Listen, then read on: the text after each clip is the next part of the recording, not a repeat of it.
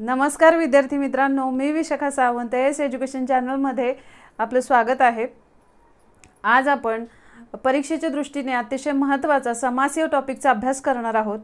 समास हा टॉपिक म्हणजे ऑल ऑल ओव्हर मराठी व्याकरण जरी म्हटलं तरीसुद्धा ते टी ई टी एक्झाम असेल पोलीस एक्झाम असेल किंवा तलाठी एक्झाम असेल किंवा आरोग्य विभागाच्या एक्झाम्स असतील तर प्रत्येक परीक्षेला पंधरा दहा किंवा पंचवीस या मार्काचे वेटेजन असतं.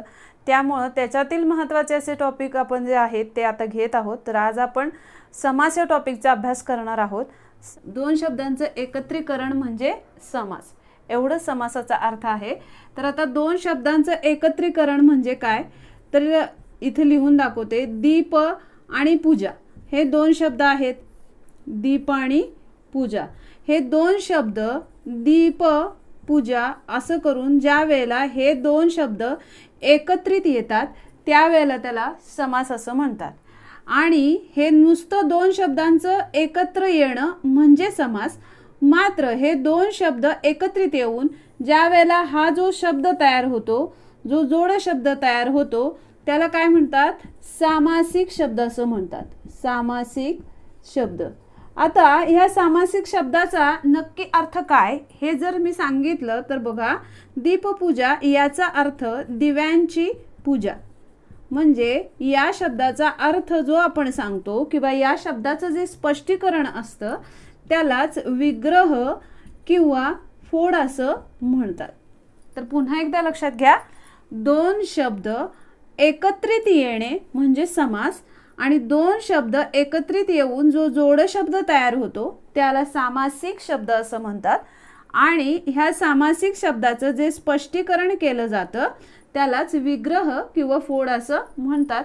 लक्षात घ्या मित्रांनो आत्तापर्यंत समास आणि सामासिक शब्द ह्याच्या व्याख्या परीक्षेला येऊन गेलेल्या दिसून येतात.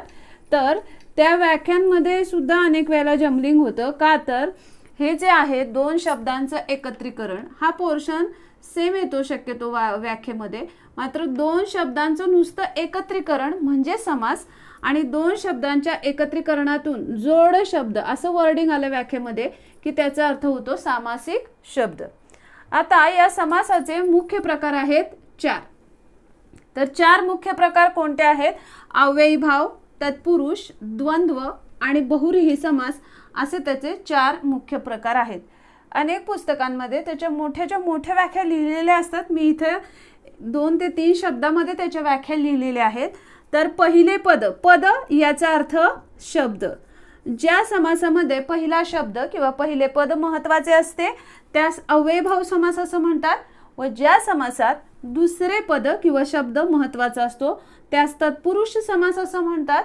आणि ज्या समासात दोन्हीही पदे दोन्हीही शब्द महत्त्वाचे असतात त्या समासास द्वंद्व समास असं म्हणतात आणि ज्या समासात दोन्हीही पदे महत्वाची नसून त्याच्यापासून तिसऱ्याच पदाचा बोध होतो त्याच बहुरही समास असे म्हणतात. असे ह्या समासाच्या within shortcut and one sentence त्या व्याख्या आहेत त्या लक्षात ठेवायला सोप्या आहेत. हे जे प्रकार मी इथे लिहिलेत तर तत्पुरुष समासचे विभक्ती उपपद नत्र कर्मधारय द्विगु आणि मध्यमपद लोपी असे समास प्रकार आहेत. अर्थात इथं हे नत्र जे आहे ते त्रच य असा उच्चार होतो. मात्र अनेक जणांना कळत नाही सर्वच जण असा उच्चार करतात म्हणून मी करते. मात्र नत्रच्या ऐवजी नय असा त्याचा उच्चार होतो. तर विभक्ती उपपद नत्र किंवा नय तत्पुरुष समास कर्मधारय द्विगु आणि मध्यमपदलोपी हे ही तत्पुरुष समासाचे सहा उपप्रकार आहेत. तसेच द्वंद्व समासाचे इतर इतर वैकल्पिक आणि समाहार हे द्वंद्व समासाचे तीन उपप्रकार आहेत. तर बहुरीही समासाचे विभक्ती नय किंवा नत्र सह आणि प्रादिबहुरीही असे चार उपप्रकार आहेत. तर हे सर्व प्रकार आपल्याला विस्तारित व्यवस्थित शिकायचे आहेत. तर व्हिडिओ स्किप न करता पहिल्यापासून व्यवस्थित बघा. अर्थातच मी हे विशिष्ट भागांमध्ये प्रकार प्रसारित करणार कारण हा जर सर्व प्रकार एकाच भागामध्ये शिकवायचे म्हणले तर व्हिडिओ अतिशय मोठा होईल आणि कंटाळवाणा होईल. त्याच्यामुळं ह्याचे भाग करणार आहेत अव्ययभाव समास त्यानंतर तत्पुरुष द्वंद्व आणि भौरी तर ते सर्व भाग तुम्ही व्यवस्थित पहा जेणेकरून यावर आधारित परीक्षेला एक ना एक तरी प्रश्न असतोच. शिवाय प्रत्येक भागावर प्रत्येक भाग करत असताना शेवटी मी कोणत्या पद्धतीचे प्रश्न त्यावर परीक्षेला येऊन गेलेत हेही सांगणार आहे.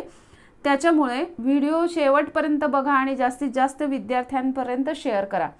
तर इथं द्वंद्व समास आणि सॉरी समासाचे मुख्य प्रकार चार त्यांच्या शॉर्टकट व्याख्या आणि शिवाय त्यांचे प्रकार मी इथं तुम्हाला सांगितले आहेत. ज्या विद्यार्थ्यांना आवश्यक वाटत असेल त्यांनी व्हिडिओ पॉज करून त्याचं स्क्रीनशॉट काढून ठेवा.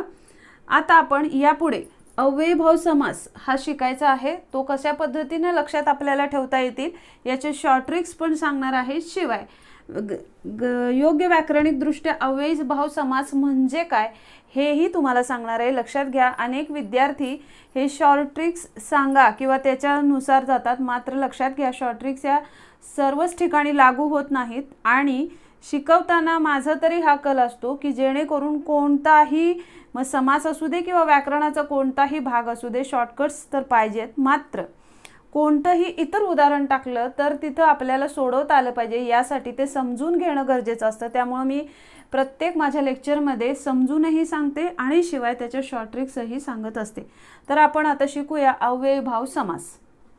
अव्ययभाव समासाची व्याख्या अशी केली जाते की ज्या समासातील पहिले पद पदचा अर्थ मगाशीच मी सांगितलं पद याचा अर्थ शब्द असा होतो ज्या समासातील पहिले पद म्हणजे शब्द महत्त्वाचा असतो त्या समासास अव्ययभाव समास असं म्हणतात. म्हणजे काय? पहिले पद म्हणजे काय? जसं आमरण हा जर शब्द आहे तर त्याच्यामध्ये आ आणि मरण. ह्याच्यामधलं हे पहिलं पद आहे आणि हे दुसरं पद. पद म्हणजे काय? शब्द.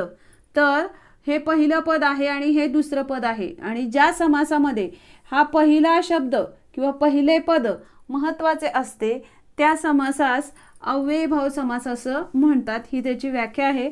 अव्ययभाव समासावर अनेक वेळेला परीक्षेला प्रश्न विचारलेला दिसून येतो. व्हिडिओच्या शेवटी आपण अव्ययभाव समासावर कोणते प्रश्न विचारले गेलेत हेही पाहणार आहोत. त्यामुळे व्हिडिओ शेवटपर्यंत नक्की पहा. तर आमरण जसं अव्ययभाव समासाचे शब्द कोणते असतात आणि ते कसे ओळखायचे ह्याचे ट्रिक्सही तुम्हाला सांगते. जसं बघा हा शब्द आहे आमरण.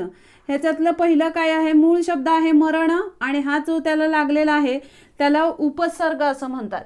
परंतु बऱ्याच जणांना उपसर्ग हाही कन्सेप्ट माहिती नसतो. त्याच्यामुळं मी शब्द असे म्हणते. तर ह्याला काय लागलेला आहे? आ हा उपसर्ग लागलेला आहे. किंवा तुमच्या भाषेमध्ये त्याला शब्द असं म्हणू. इथं क्रम हा मूळ शब्द आहे आणि त्याला यथा हा लागलेला काय आहे? उपसर्ग आहे. तर इथं क्षण हा मूळ शब्द आहे आणि त्याला प्रति हा लागलेला काय आहे? उपसर्ग आहे. तर इथं पानो पान पान पान दोनदा आलेला शब्द आहे. घरोघरी म्हणजे इथं घर घर दोनदा आलेला शब्द आहे. तर इथं बघा साल हा मूळ शब्द आहे आणि त्याला दर हा लागलेला उपसर्ग आहे. समय हा मूळ शब्द आहे आणि त्याला हर हा लागलेला उपसर्ग आहे. थोडक्यात काय? की अव्यय भाव समासामध्ये आ यथा प्रति हर दर असे उपसर्ग असतात. तर हे हर दर आहेत हे फारसी उपसर्ग आहेत एवढाच त्याच्यामध्ये फरक आहे. तर आमरण या शब्दाची फोड मरेपर्यंत मरेपर्यंत अशी होते. मरेपर्यंत. तसेच यथाक्रम तर क्रमाप्रमाणे क्रमाप्रमाणे अशी फोड होते. तर प्रतिक्षण प्रत्येक प्रत्येक क्षण म्हणजे वेळ प्रत्येक वेळी असा त्याचा अर्थ होतो.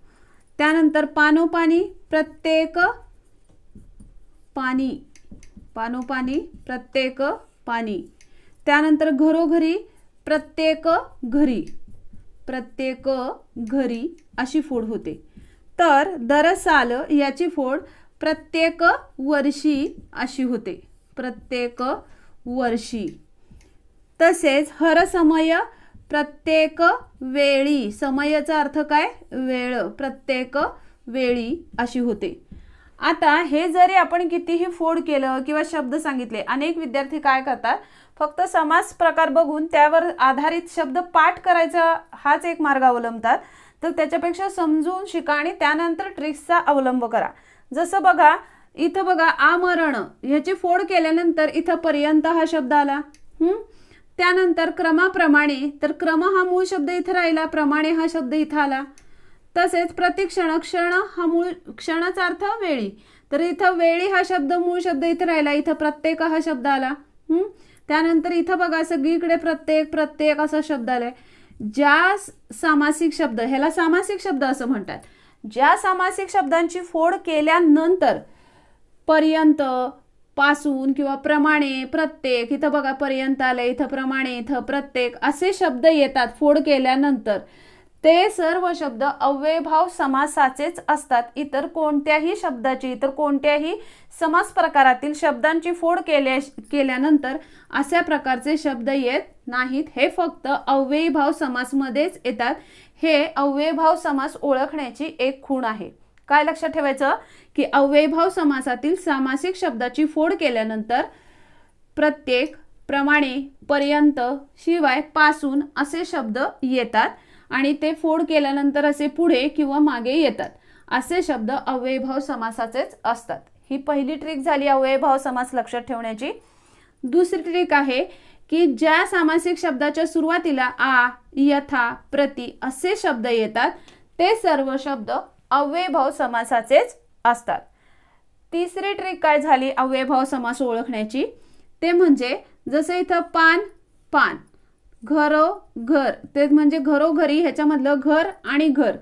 एकच शब्द पुन्हा ज्या वेळेला रिपीट आलेला असेल किंवा पुनरावृत्ती व्याकरणिक भाषेमध्ये त्याला पुनरावृत्ती असं म्हणतात तर एकच शब्द जर पुन्हा पुन्हा आलेला असेल जसं घरोघरी पानोपानी असे सर्व शब्द शंभर टक्के अव्ययभाव समासाचेच असतात. ही तिसरी ट्रिक झाली. चौथी ट्रिक दर आणि हर हे फारसी उपसर्ग आहेत. तर असे फारसी उपसर्ग असणारे शब्द असतील आणि त्यांचा अर्थ प्रत्येक किंवा पासून या टाईपनी होत असेल तर असे फारसी शब्द हे अव्ययभाव समासाचेच असतात. आणि म्हणून इथं ह्याचं हवं तर तुम्ही पॉज करून स्क्रीनशॉट काढून घ्या. म्हणून मी इथे लिहिलेलं आहे की आ यथाप्रती असे शब्द येणारे असे उपसर्ग असे शब्द येतात असं मी लिहिलंय तर हे उपसर्ग आहेत. तर असे उपसर्ग येणारे शब्द हे अवैभव समासाचे असतात. उदाहरणार्थ आजन्म यथामती प्रतिवर्ष. पुढचं बघा. हे जे गाव गाव घर घर असं रिपीट होतंय हे यांनाच दोनदा दोनदा येतात म्हणून त्याला व्याकरणिक भाषेमध्ये द्विरुक्ती होणे असं म्हणतात. म्हणजे एकच शब्द जर परत आला असेल जसे इथं गाव गाव घर घर पुन्हा आलेलं आहे त्यावेळेला व्याकरणिक भाषेमध्ये त्याला द्विरुक्ती असं म्हणतात. असे द्विरुक्ती होणारे शब्द जर असतील तर तेही अव्ययीभाव समासाचेच असतात.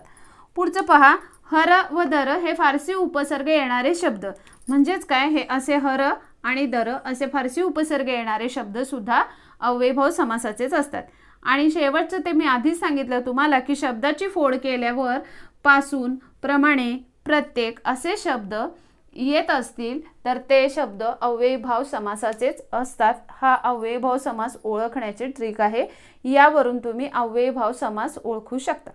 आता आपण परीक्षेला अव्ययीभाव समासाची कोणती उदाहरणं येऊन गेलेत हे पाहूया. तर बघा गल्लोगल्ली शब्दाचा समास ओळखा अहमदनगर पोलीस दोन हजार अठराला हा प्रश्न येऊन गेलेला आहे. तर गल्लो गल्ली मगाशीच मी सांगितलं गल्ली आणि गल्ली. इथे एकाच शब्दाचं जर रिपिटिशन झालेलं असेल पुन्हा पुन्हा आलेला असेल तर तो शब्द अव्ययभाव समासाचा असतो. त्यामुळे याचा आन्सर पर्याय क्रमांक दोन अव्ययभाव हे आहे. पुढचं पुढील शब्दाचा समास सांगा दररोज तर दर ज्या शब्दाच्या सुरुवातीला हर दर असे फारसी उपसर्ग असतात. दर हा फारसी उपसर्ग आहे. तलाठी तलाठी ठाणे डिस्ट्रिक्टमध्ये दोन हजार नऊला हा प्रश्न येऊन गेलेला आहे. तर दररोज दर हा फारसी उपसर्ग असल्यामुळे ह्या शब्दाचं उत्तर आहे अव्ययभाव समास या प्रश्नाचं उत्तर. त्यामुळे पर्याय क्रमांक चार. पुढचं बघा प्रश्न तिसरा ज्या समासात पहिले पद प्रधान पहिले पद प्रमुख असते मग मी प्रमुख असं न म्हणता सोप्या भाषेमध्ये काय सांगितलंय? ज्या समासामध्ये पहिले पद महत्त्वाचे असते. काही लक्षात घ्या परीक्षेला याच्यावर विचारत असताना ज्या समासात पहिले पद प्रमुख म्हणले किंवा प्रधान असं म्हटलेलं आहे तर ज्या समासात पहिले पद इथं पहिले असं आलं की त्या अव्ययभाव समासाचंच असणार हे लक्षात घ्या. ज्या समासात पहिले पद प्रमुख किंवा प्रधान असते त्या समासास टिंबटिंब म्हणतात. तर अव्ययभाव समास म्हणतात आणि हा प्रश्न एस आर पी एफ चार नागपूर पोलीस दोन हजार सोळाला येऊन गेलेला आहे. तर त्याचा आन्सर आहे पर्याय क्रमांक एक अव्ययभाव. पुढचं बघा चौथा प्र प्रश्न. क्षणोक्षणी सामासिक शब्दाचा विग्रह लिहा. हा थोडंसं वेगळं आलेला आहे. नागपूर ग्रामीण पोलीस दोन हजार अठराला हा प्रश्न येऊन गेलेला आहे की क्षणोक्षणी इथं बघा क्षण क्षण. असं परत परत आले त्यामुळे तो शब्द जर समास प्रकार विचारला असतं तर अव्ययभाव समासाचा आला असता. मात्र इथे समास प्रकार न विचारता त्याचा विग्रह विचारलेला आहे. तर त्याचा विग्रह असा होतो प्रत्येक क्षणाला अव्ययभाव समासात असं प्रा पासून प्रमाणे प्रत्येक असे शब्द येतात. त्यामुळे त्याचं उत्तर आहे पर्याय क्रमांक चार लक्षात घ्या अनेक विद्यार्थी काय करतात? नुसते शब्द पाठ करण्याच्या मागे लागतात विशिष्ट समास प्रकारमधले. तर त्या शब्दांची फोड जर लक्षात घेतली तर त्या फोडीवरून समास प्रकारातील कोणता शब्द कोणत्या प्रकारमध्ये टाकायचा हे लक्षात येतं. त्यामुळे प्रत्येक शब्दाची फोड निश्चित लक्षात घ्या. पुढचा आणि पाचवा प्रश्न बघा. यथाशक्ती कोणत्या समासाचे उदाहरण आहे? हा प्रश्न अनेक वेळेला रिपीट हो झालेला दिसतो. अर्थात मला तिथे जास्त लिहायला जागा नाही त्यामुळे जेवढे तिथे बसतील डिस्ट्रिक्ट तेवढेच मी लिहिलेले आहेत. बघा हिंगोली पोलीसला दोन हजार सतराला येऊन गेले. औरंगाबाद ग्रामीण पोलीसला दोन हजार सतराला येऊन गेले. जळगाव पोलीसला दोन हजार सोळाला हा प्रश्न येऊन गेलाय. गडचिरोली दोन हजार सतराला हा प्रश्न येऊन गेलाय. तर यथाशक्ती यथा शब्दाच्या सुरुवातीला यथा असेल. मी काय सांगितले ट्रिक्समध्ये आ यथाप्रती असं शब्दाच्या सुरुवातीला असेल. तर इथं काय आलंय? यथा असं आलंय शब्दाच्या सुरुवातीला. तर हंड्रेड अँड वन पर्सेंट हा शब्द कशाचा असणार आहे? अवैभव समासाचा असणार आहे. त्यामुळे ह्याचं उत्तर पर्याय क्रमांक एक. अशा पद्धतीचे लक्षात घ्या याच्यापेक्षा जास्त प्रश्न मला इथं घेणं शक्य नाही आहे तर जेवढे शक्य आहे तेवढे मी घेतलेत. कारण व्हिडिओ खूप मोठा होईल. त्यामुळे अशा प्रकारचे निदान तुम्हाला कशा पद्धतीचं स्वरूप असतं प्रश्नांचं हे दिसून येतं. या पलीकडं खूप अवघड प्रश्न काही परीक्षेला अव्ययभाव समासावर विचारलेले दिसून येत नाहीत. हा व्हिडिओ जर तुम्हाला आवडला असेल तर लाईक आणि सबस्क्राईब करायला आपण समासाचा दुसरा मुख्य प्रकार तत्पुरुष समास आणि त्याचे उपप्रकार यांचा अभ्यास करणार आहोत. तर तत्पुरुष समास म्हणजे काय ते आधी बघूया. जसं अव्ययभाव समासामध्ये पहिले पद पद म्हणजे याचा अर्थ शब्द असं सांगितलं होतं. तर तत्पुरुष समास म्हणजे ज्या त समासात दुसरे पद दुसरे पद किंवा शब्द महत्त्वाचे किंवा प्रधान किंवा प्रमुख असतो त्या समासास तत्पुरुष समास असं म्हणतात. ही तत्पुरुष समासाची व्याख्या केली जाते. तर या तत्पुरुष समासाचे विभक्ती तत्पुरुष उपपद तत्पुरुष नत्र किंवा ह्याला नत्र म्हणत नाहीत नन असं म्हणतात. मात्र बहुतांश स्टुडंट हा त्र दिसतो म्हणून त्र म्हणतात म्हणून मी तसं म्हणते कर्मधारय समास द्विगु समास आणि उप मध्यमपदलोपी समास असे त्याचे उपप्रकार पडतात. तर तत्पुरुष समास यातला आधी एक उदाहरणार्थ म्हणून तत्पुरुष समासमध्ये दुसरे पद महत्त्वाचे असते. म्हणजे नक्की काय असते हे आपण बघूया आणि त्यानंतर त्याचे उपप्रकार सुरू करूया. तर लक्षात घ्या जसं तपाचरण हा इथला शब्द आहे तोच आपण घेऊया. जसं बघा तपाचरण हा शब्द आहे. आणि या शब्दामध्ये तप आणि आचरण आचरण असे दोन शब्द आहेत. मग ज्या समासातला हा हा शब्द दुसरा शब्द महत्त्वाचा असतो त्या समासास तत्पुरुष समास असं म्हणतात.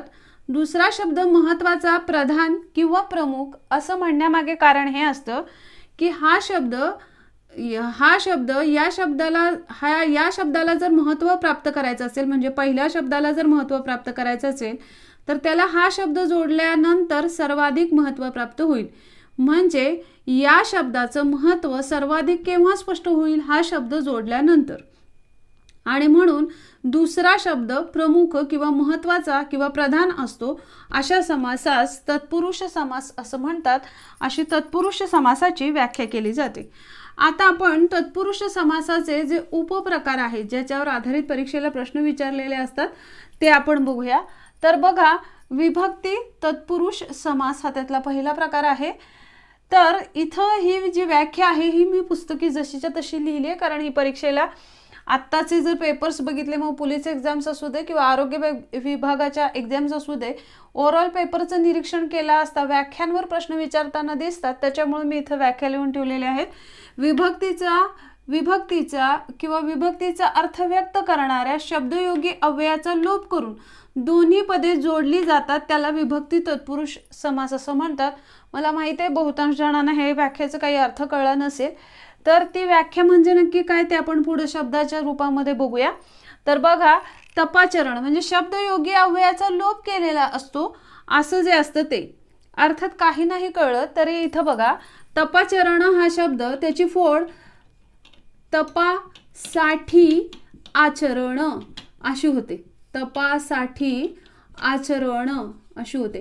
आता बघा शब्दयोगी अव्ययाचा लोप पाहून असं म्हटलेलं आहे.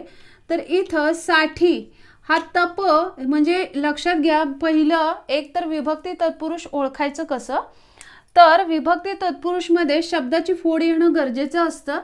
आणि शब्दाची फोड केल्यानंतर हा जो पहिला शब्द आहे म्हणजे ह्यातला पहिला शब्द कुठला आहे? तप आणि दुसरा आहे आचरण. तर तप या मूळ पहिला जो शब्द असतो त्याला विशिष्ट प्रत्यय लागलेला असतो. इथं साठी हा शब्द प्रत्यय म्हणून लागलाय जो मूळचा काय आहे? शब्दयोगी अव्यय आहे. म्हणजे हा साठी हा शब्द मूळचा शब्दयोगी अव्यय आहे आणि इथं मात्र तो प्रत्ययासारखं काम करतोय. लक्षात घ्या विशिष्ट शब्द समजा हा शब्द आहे तर शब्दाच्या या उजव्या बाजूला जे लागतात त्याला प्रत्यय असं म्हणतात. म्हणजे या शब्दामध्ये इथं बदल झालाय तप या शब्दामध्ये साठी झालं म्हणजे साठी हे मूळचं शब्दयोगी अव्यय इथं प्रत्ययासारखं वापरलेलं असतं. अशा पद्धतीने त्या शब्दयोगी अव्ययाचा लोप पावलाय आणि त्याचा प्रत्ययासारखा वापर केलेला असतो. असे जे शब्द असतात ते शब्द तत्पुरुष समासाचे मधल्या विभक्ती तत्पुरुषचे असतात. काही नाही समजलं तर एवढं लक्ष ठेवायचं आहे की तत्पुरुष समास विभक्ती तत्पुरुष समासमधील शब्दाची फोड केल्यानंतर ह्या पहिल्या शब्दाला विशिष्ट प्रत्यय लागलेला दिसून येतो आणि त्याच्यावरून विभक्ती ठरवता येते.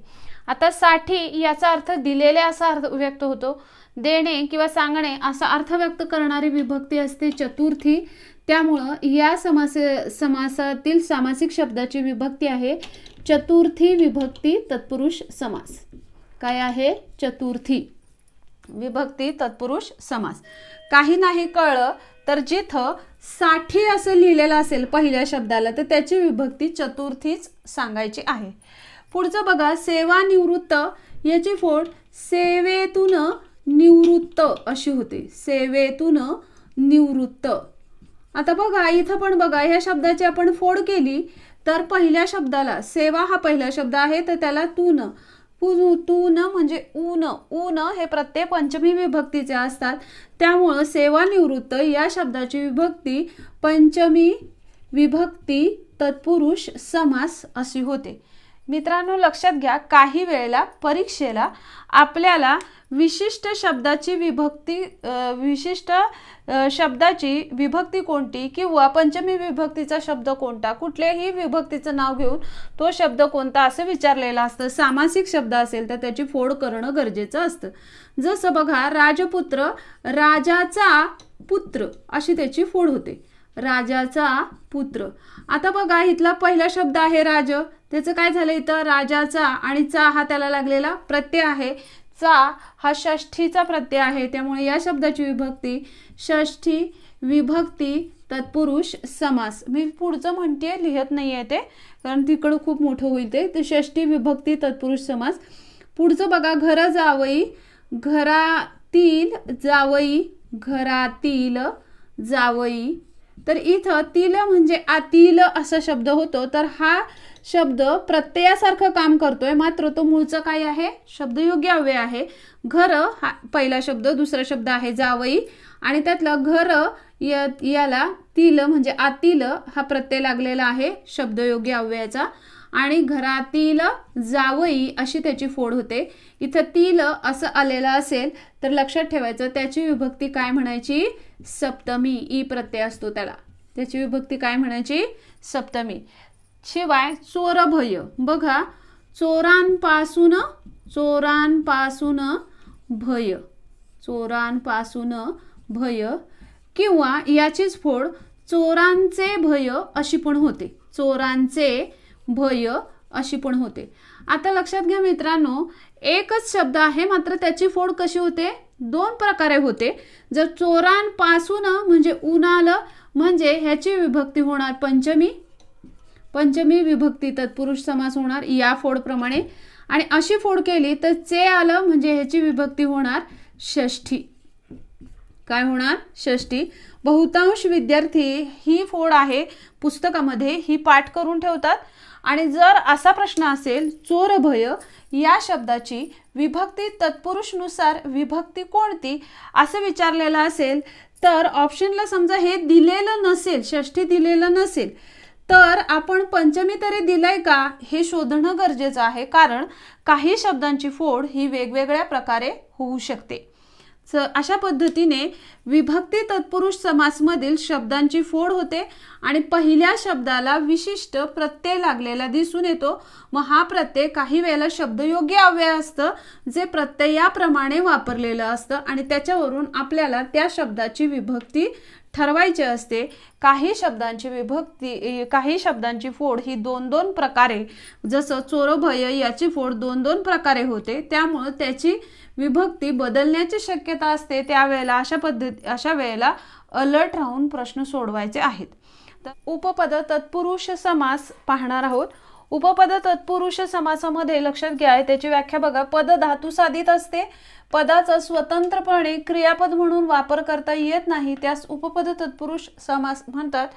ही ही व्याख्या लक्षात आली नाही तर त्याचं टेन्शन अजिबातच घेऊ नका. आपल्याला परफेक्ट उपपद तत्पुरुष समासाचे शब्द कसे ओळखता येतील हे आपण ट्रिकनुसार पाहणार आहोत. तर लक्षात घ्या उपपद तत्पुरुष समासामध्ये कर कार करी अशी पदे असतात जी स्वतंत्रपणे वापरता येत नाहीत. अर्थात ही कृदंत साधित असतात. कृदंत साधित असं पण समासस म्हणतात. तर कर कार करी अशी पदे स्वतंत्रपणे वापरता येत नाही. फॉर एक्झाम्पल इथं बघा चित्रकार. चित्रकार हा शब्द आहे ह्याच्यामध्ये चित्र आणि कार असं सेपरेट सेपरेट आपण वापरू शकत नाही. चित्र या शब्दाला कार हा शब्द जोडावाच लागतो. जसं शेतकरी ह्याच्यामध्ये शेत आणि करी असे दोन शब्द सेपरेट सेपरेट आपण लिहित नाही. शेत या शब्दाला करी हा शब्द जोडावाच लागतो आणि नंतर शेतकरी हा शब्द तयार होतो. थोडक्यात कर कार करी अशी जी पदे असतात ज्याला उपपद असं म्हणतात उपपद पद म्हणजे शब्द. एखाद्या मूळ शब्दाला ज्या वेळेला दुसरा शब्द जोडला जातो त्यावेळेला त्याला उपपद असं म्हणतात. तर बघा शेतकरी याची फोड शेती करणारा अशी होते. करणारा. आता बघा शेती करणारा ह्या करीचा अर्थ काय आहे? करणारा. आणि इथं बघा जर काही लक्षात आलं नाही तर उपपद तत्पुरुष समासाचा शब्द कसा ओळखायचा? त्याच्यासाठी ट्रिक ही आहे की शेती करणारा नाराल म्हणजे फोड केल्यानंतर करणारा नारा नारी नारे यापैकी येतं. किंवा शेती करत असलेला अशी फोड होते. असलेला म्हणजे असलेला असलेली असलेले असं टाईपचे शब्द येतात. दोन्ही प्रकारची फोड काही पुस्तकांमध्ये दिलेली आहे. पुढचं बघा पंकज पंकज पंक म्हणजे चिखल आणि ज म्हणजे जन्मनारा. मग ह्याची फोड होते चिखलात जन्मनारा. चिखलात चिखलात जन्मणारा आता बघा इथं पुन्हा लणारा चिखलात जन्मनारा किंवा चिखलात जन्मत असलेले. चिखलात जन्मनारे सॉरी नारा नाही चिखलात जन्मणारे किंवा चिखलात जन्मत असलेले. आता इथं बघा लेले असं आलं शिवाय असं आलं चिखलात जन्मणारे पंकज कमळ कमळासाठी समानार्थी शब्द आहे. द्विज द्वि म्हणजे दोनदा ज म्हणजे जन्मणारा मग दोनदा जन्मणारा दोनदा जन्मणारा आता इथं बघा नारा आलं. आणि शिवाय ह्याची वेगळ्या प्रकारे फोड करायची झाली तो दोनदा जन्मत असलेला अशी पण होऊ शकते. असलेला. मग इथं असलेला आलं. तसंच बघा चित्रकार.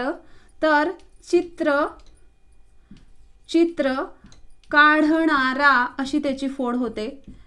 चित्र काढणारा किंवा चित्र काढत असलेला अशी पण होते. मग इथं असलेला असं आलं आणि इथं नारा असं आलं. शिवाय ख ग ख म्हणजे आकाश ग म्हणजे गमन करणे. ख ग हे पक्षासाठी समानार्थी शब्द वापरतात. तर आकाशात आकाशात गमन करणारा गमन करणारा किंवा करणारे आणि आकाशात गमन करत असलेले अशी फोड होते. म्हणजे इथं नारे आलं. तर आपल्याला जर समजा व्याख्या समजली नाही किंवा बाकीचं काहीच माहिती नाही उपपद तत्पुरुष समासातील तर उपपद तत्पुरुष समास कसं ओळखायचं? तर त्या शब्दाची फोड केल्यानंतर नारा नारी नारे असे शब्द येतातच. शिवाय असलेला असलेले अशा टाईपचे शब्द येतात. म्हणजे एक तर नारा नारी नारी येईल किंवा असलेला असलेले असे शब्द येतात. तेच शब्द कशाचे असतात? उपपद तत्पुरुष समासाचे असतात. हे उपपद तत्पुरुष समास ओळखण्याचे एक खूण आहे. आपण पाहूया नत्र तत्पुरुष समास किंवा नय तत्पुरुष समास. तर बघा याच्यामध्ये शब्दाच्या सुरुवातीला हे एक लक्षात ठेवायचं. अ अन न नी बे गैर. असे नकार दर्शवणारे शब्द. शब्द म्हणजेच पदे असे नकार दर्शवणारे पदे असतात. त्यास नय किंवा नत्र तत्पुरुष समास असं म्हणतात. तर नत्र तत्पुरुष समासमध्ये शब्दाच्या सुरुवातीला जसं इथं बघा अ आले. ओळखण्याची खूण काय? की अ अन न नी बे गेर असे शब्द शब्दाच्या सुरुवातीला असतात. जसे इथं अ आहे इथं बे आहे इथं गैर आहे इथं अन आहे. तर अशा पद्धतीनं ज्या शब्दाच्या सुरुवातीला अर्थात हे नकार दर्शवणारे शब्द जर शब्दाच्या सुरुवातीला येत असतील तर त्याला नत्र किंवा नयतत्पुरुष समास असं म्हणतात. तर इथं लक्षात घ्या याची फोड एक विशिष्ट पद्धतीने होते. आता इथं शक्य कायदा हजर निश्चित. तर हे बघा शक्य कायदेशीर हजर निश्चित. हे शब्द सुरुवातीला येतात. म्हणजे हे जे दुसरे शब्द आहेत ते पहिल्यांदा इथं फोड केल्यानंतर पहिल्यांदा येतात. आणि अ बे गैर अनिश्चित यांचा अर्थ काय होतो? नसलेले किंवा नसलेला असं होतं. उपपदमध्ये आपण काय बघितलं? असलेले किंवा असलेला असं उपपदमध्ये होतं. तर अशक्यमध्ये हे नत्र किंवा नाही तर पुरुषमध्ये काय आहे? शब्दाची फोड केल्यानंतर नसलेले किंवा नसलेला असे शब्द येतात. आणि तो शब्द काय असतो? नय किंवा नत्र पुरुष समास असतो. तर अशा पद्धतीचे त्याला शब्द असतात. ओळख लक्षात ठेवायची खूण काय आहे? अ अन न नी बेगैर असे शब्द शब्दाच्या सुरुवातीला असतात. असे सर्व शब्द नय किंवा नत्र तत्पुरुष समासाचे असतात. आता आपण तत्पुरुष समासातील चौथा प्रकार कर्मधारय तत्पुरुष समास पाहणार आहोत. तर कर्मधारय तत्पुरुष समासाची व्याख्या काय केलेली आहे की एक पद विशेषण व एक पद नाम असते. अशा समासास कर्मधारय समास असं म्हणतात. शिवाय या कर्मधारय समासातील जी दोन्ही पदं असतात ती एकाच विभक्तीची असतात. समान विभक्तीची असतात. त्यामुळे त्याला समानाधिकरण पण काही वेळेला म्हणतात. का तर समान पद असतात. आता हे बघा महादेव. अर्थात आधी मी तुम्हाला योग्य व्याकरणिक दृष्ट्या कर्मधाराय समास म्हणजे काय हे सांगणार आहे. कारण परीक्षेला खूप वेळेला यावर प्रश्न असतात. हे मी जेवढे सर्व शब्द लिहिलेत हे सर्व शब्द वारंवार अनेक वेळेला परीक्षेला येऊन गेले त्यामुळे निदान समजायला तरी हवं की कर्मधाराय समास म्हणजे काय? तर ते आधी समजून घ्या आणि नंतर आपण तो ट्रिकनुसार कसं ओळखायचं आहे हे बघूया. जसं बघा महादेव तर याची फोड महान असा देव अशी होते. तर देव आणि महान. ह्यातला देव हा शब्द नाम आहे. आणि या नामाविषयी विशेष देव कसा आहे तर महान म्हणजे हे काय आहे? विशेषण आहे. तसंच कमल नयन कमलासारखे नयन कमल आणि इथं नयन. तर इथं बघा नयन हा शब्द नाम आहे आणि नयनांचं म्हणजे डोळ्यांचं वर्णन करणारा शब्द कमल हा काय आहे? विशेषण आहे. पितांबर तर ह्याच्यात पित म्हणजे पिवळे आणि अंबर म्हणजे वस्त्र. तर इथं वस्त्र कसे आहे? म्हणजे हे नाम आहे आणि हे काय आहे? विशेषण आहे. विद्याधन तर विद्या हे विद्या आणि धन. तर विद्या धन कसे आहे? विद्येचे आहे. तर इथं हे नाम आहे आणि हे विशेषण आहे. असं ज्या समासामध्ये एक पद नाम असते आणि एक पद विशेषण असते अशा समासास कर्मधारय समास असं म्हणतात. लक्षात घ्या कर्मधारय समासाची उदाहरणं अनेक वेळेला परीक्षेला विचारतात. मात्र खूप अगदी टफ याच्यावर प्रश्न विचारत नाहीत. तर खालीलपैकी कर्मधारय समासाचे उदाहरण कोणते? कर्मधारय समास उदाहरण व्यक्त करणारे शब्द कोणते? अशा पद्धतीचे प्रश्न परीक्षेला असतात. तर आपण परफेक्ट कसं ओळखायचं? यासाठी तुम्हाला त्या शब्दाची फोड आली पाहिजे. तर लक्षात घ्या ट्रिक्सनुसार काय लक्षात ठेवायचं? कर्मधारय समासातील शब्दाची फोड केल्यानंतर असा असे हेच सारखा सारखी असे शब्द फोड केल्यानंतर दोन शब्दांच्या मध्ये येतात. जसं महादेव मधलं महान इथे देव इथे मध्ये काय आलंय? असा. इथं बघा कमल नयन कमल इथे नयन इथे मध्ये काय आलंय? सारखे. पितांबर इथं बघा पीत इथं अंबरमध्ये काय आलंय? असे. विद्या धन विद्या इथे धन आणि मध्ये काय आलंय? हेच. जर शब्दाची फोड केल्यानंतर असा सारखे असे हेच अशा टाईपचे शब्द येत असतील तर ते शब्द शंभर टक्के कर्मधारय समासाचेच असतात. अशा पद्धतीनं आपण कर्मधारय समास ओळखू शकतो. तुम्हाला फोड जमली पाहिजे. लक्षात घ्या प्रत्येक समासातील प्रत्येक उपप्रकाराची फोड वेगवेगळी आहे. त्याच्यावरून तुम्ही तो शब्द कोणत्या समास प्रकारातील आहे हे ओळखू शकता. तर असा असे हेच सारखा सारखे असे शब्द जर फोड केल्यानंतरमध्ये येत असतील तर तो समास कर्म तो शब्द कर्मधारय समासाचा आहे. आता आपण द्विगु समास पाहणार आहोत.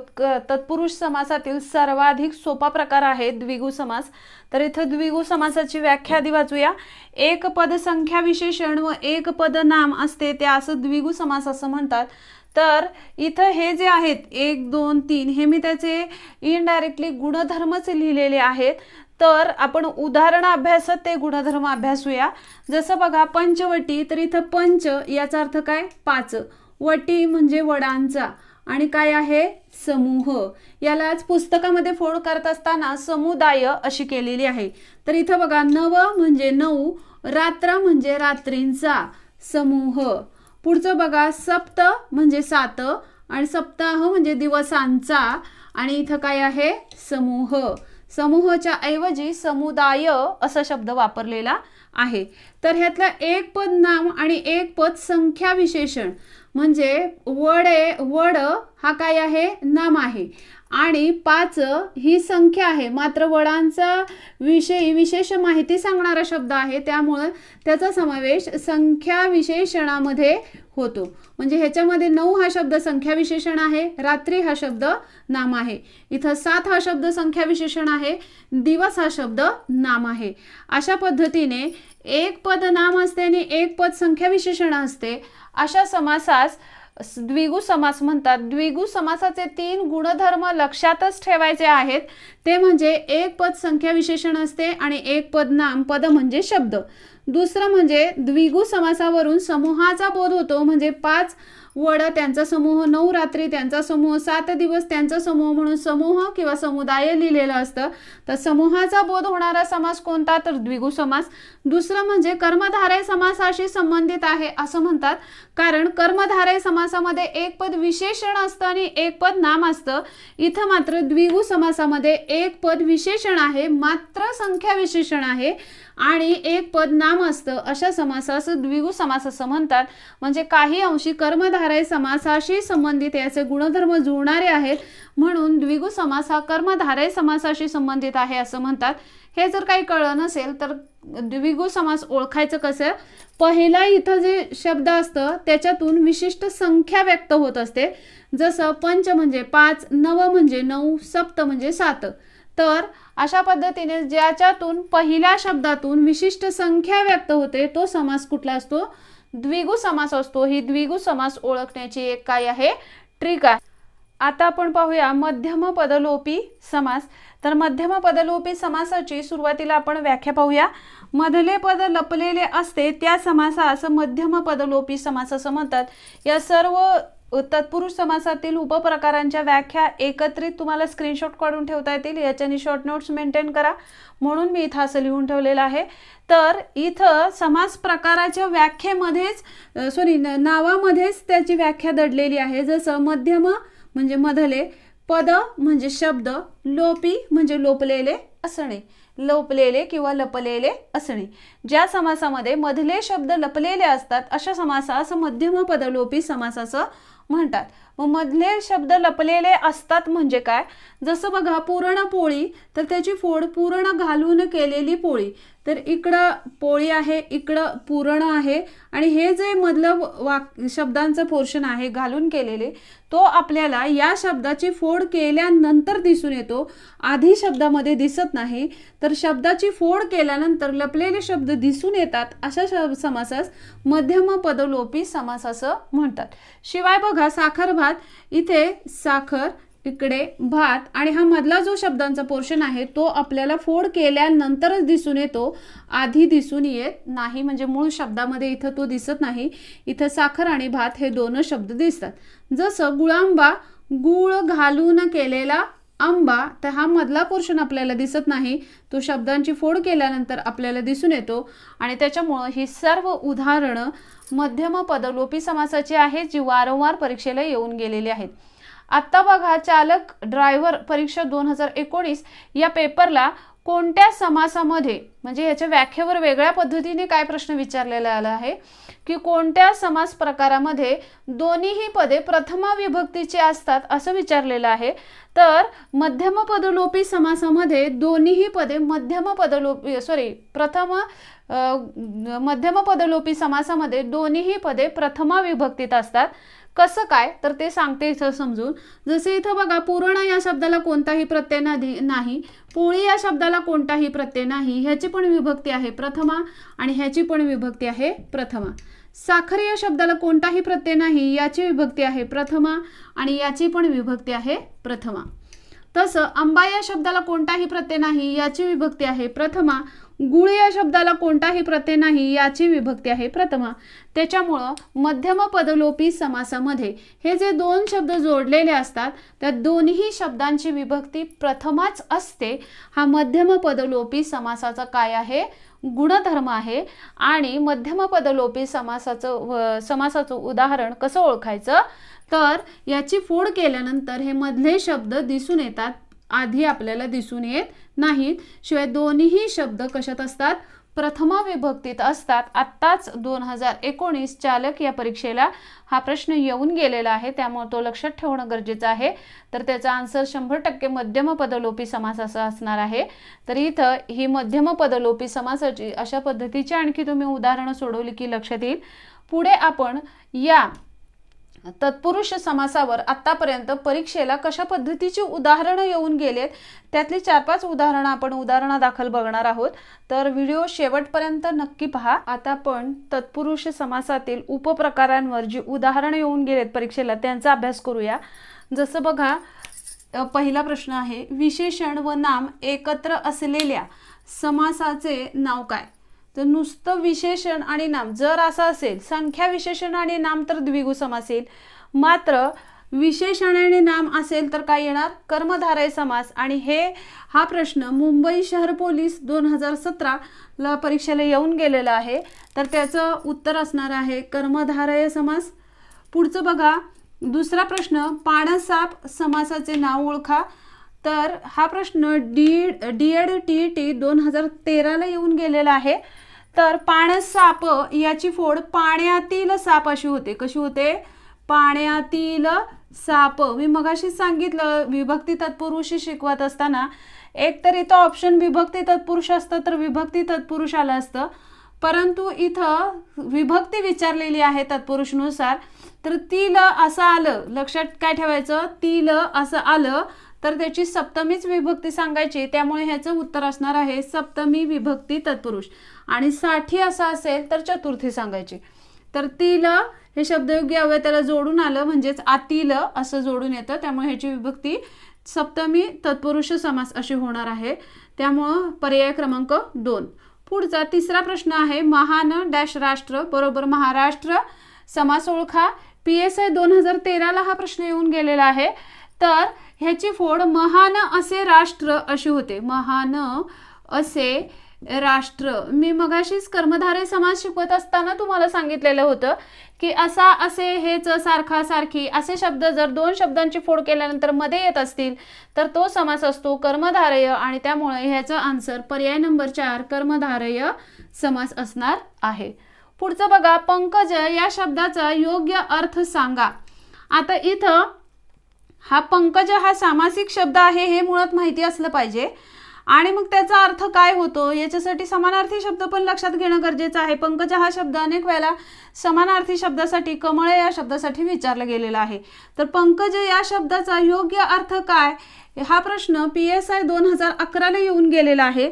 तर पंकज याचा अर्थ चिखलात जन्मलेले. कमळासाठी समानार्थी शब्द वापरतात. त्यामुळे पर्याय नंबर तीन चिखलात जन्मलेले हे त्याचा आन्सर असणार आहे. पुढचा प्रश्न बघा पाचवा.